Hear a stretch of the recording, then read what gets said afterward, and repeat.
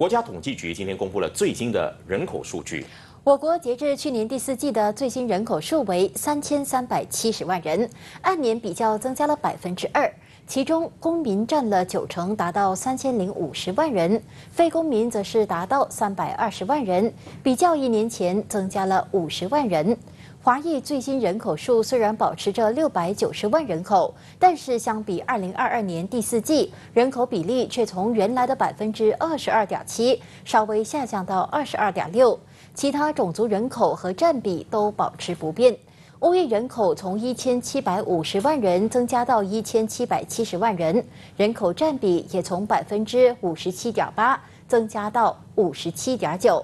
另外，比较前年同期，我国去年第四季的新生儿人数减少了百分之一点一，从十一万四千零六十七人减少到十一万二千七百六十七人。当中，男婴共有五万七千八百九十四人，比女婴五万四千八百七十三人多了百分之五。